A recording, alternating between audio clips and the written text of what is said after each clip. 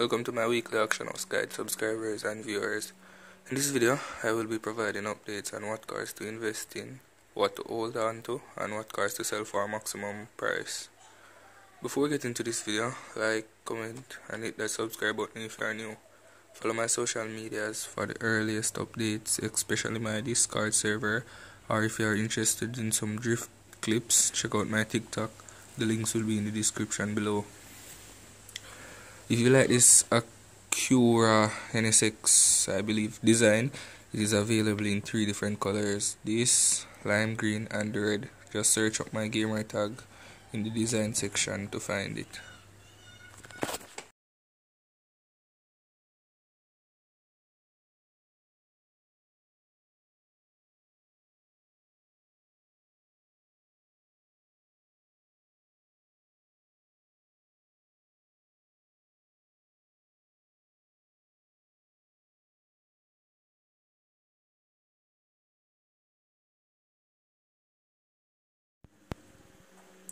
First car on the list is the new Shelby 1000 that has been available since this new season has started.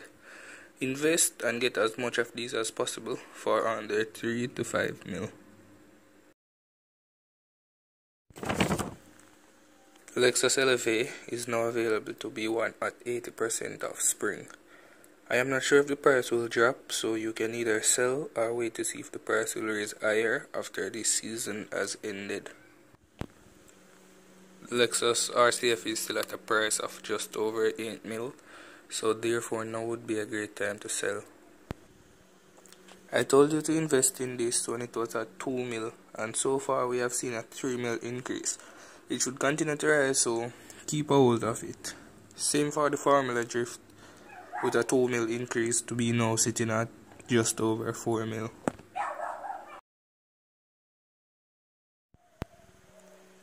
The Typhoon is now at 5 mil.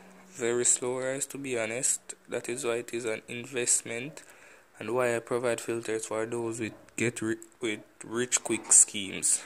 The Syclone has finally risen from 2 mil and is now sitting at 3.4 mil, another investment car.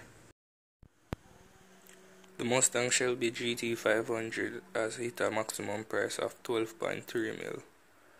Get your extras sold because it doesn't seem like it is going to rise any higher than that 12 mil range. The Alfa Romeo 155 is still at a strong price of 20 mil.